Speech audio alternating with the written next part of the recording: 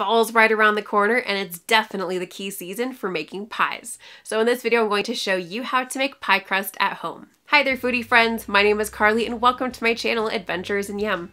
Before we get into today's video, I have a passion for learning about creating and trying new foods, drinks, and especially desserts. If you want to join me on my yummy adventures, then please make sure to hit subscribe and turn on notifications so that you'll know when I upload new videos every week. And now let's dive into today's video. Pie crust is a super versatile baking staple that can be used to make so many things, like traditional pie crust, tarts, pie cookies, hand pies, quiches, and more. What's your favorite kind of pie? Let me know in the comments below. Mine is probably my mom's sour cream apple pie with like a streusel style topping and then drizzled with my homemade caramel. It's delicious. Pie crust is amazingly simple to make, so let's get to it. We're starting by cutting one stick or half a cup or 110 grams of unsalted butter into small cubes. I cut the stick into about 16 to 24 little cubes.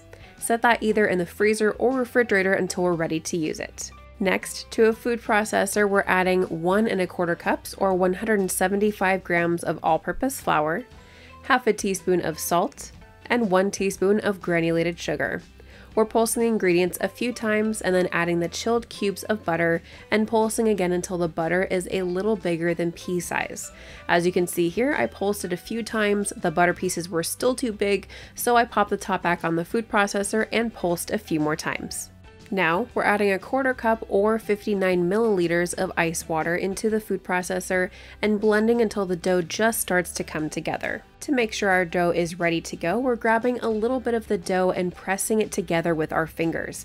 If the dough holds its shape like you see here, we're good to go. If for some reason it's still too crumbly, add a little bit of ice water at a time until the dough comes together. Next, we're pouring the contents of our food processor onto a piece of plastic wrap and then using the plastic cling film to press the dough into one mass of dough.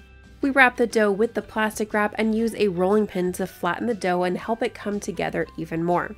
We then place this in the refrigerator to chill for about 20 to 30 minutes. Once the dough has had its little nap in the fridge, we place the dough on a lightly floured work surface and roll the dough into a rectangle. We then fold the dough into thirds like so, turn it 90 degrees, roll it out again, and fold it into thirds. Repeat this roll and fold a total of three to five times, making sure to lightly flour the work surface, top of the dough, and rolling pin as you need to avoid sticking. After the final roll and fold, we rewrap the dough in plastic wrap and place it back in the refrigerator to chill for at least two hours. Before we continue, if you're getting value out of this video, then please make sure to hit that like button, click subscribe, and ring that bell to be notified about my latest video. Now that our dough has chilled, it's time to roll it out on a lightly floured work surface. If you're making a pie, roll it into a circle shape about 1 8 inch thick.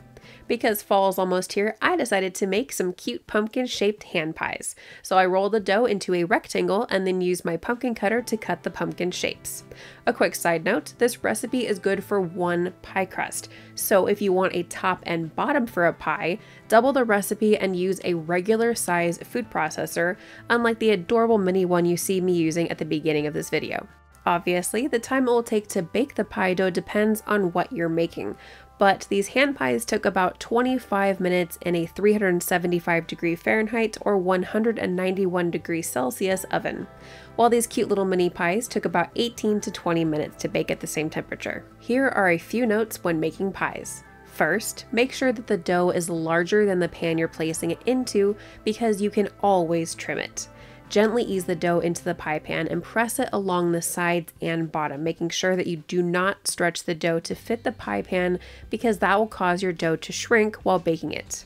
Second, when blind baking, aka baking without a filling, make sure to poke little holes in your crust because that will help the steam produced by the butter pieces escape while the crust bakes instead of becoming trapped and making weird bubbles in your dough. And third, make sure to not overwork your dough because that can also cause it to tighten up and shrink while baking. You can also find the written recipe on my website, adventuresinyum.net. The link for that is in the description below. If you're interested in checking out some of the products that I use today, please make sure to check out the video description below for their Amazon links. Thank you so much for joining me today, foodie friends. I'll see you next time for another yummy adventure.